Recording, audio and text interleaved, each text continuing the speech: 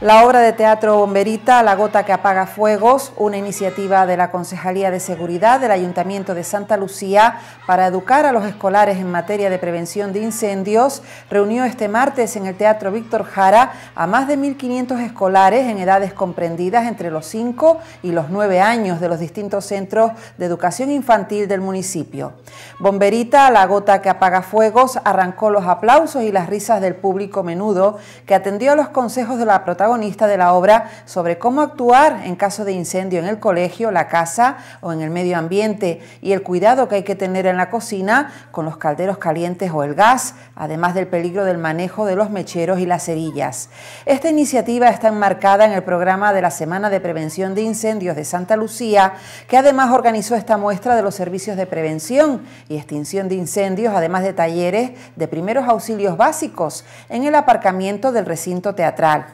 Programa continuará mañana con unas jornadas técnicas en la Casa de la Cultura Saro Bolaños. Desde el Ayuntamiento de Santa Lucía y la Concejalía de Seguridad consideramos que es fundamental para seguir avanzando en cultura de seguridad hacer una inversión con los más pequeñitos, dotarlos de herramientas de autoprotección y autogestión y que se conviertan en sensores de las actitudes de sus padres, familiares y los más grandes.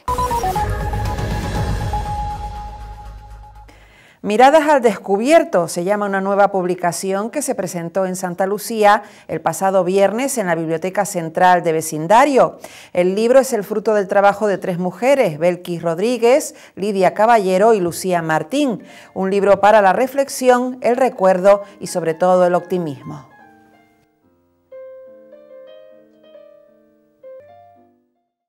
Eh, Miradas al Descubierto eh, ha sido para nosotras como prácticamente un juego, una tarde de, café. Eh, una de las chicas propuso escribir un libro a tres manos y al final pues lo hemos llevado a cabo gracias a la editorial Canarias eBook que nos ha eh, proporcionado eh, el crowdfunding, o sea, a través de los mecenas, gracias a los mecenas que aportaron, eh, que aportaron el, el, presupuesto, pues pudimos sacar este libro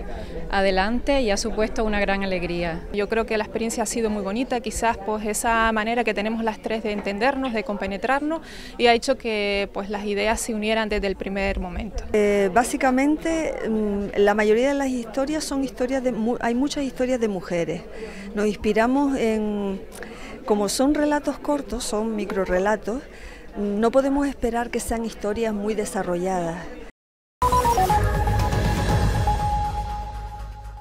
La Plaza de San Nicolás acogió el pasado viernes 25 de noviembre la Noche del Orgullo Sardinero, un encuentro organizado por los diferentes colectivos sociales, culturales y deportivos del pueblo. Decenas de residentes y visitantes disfrutaron de varias horas de música y diversión al más puro estilo sardinero.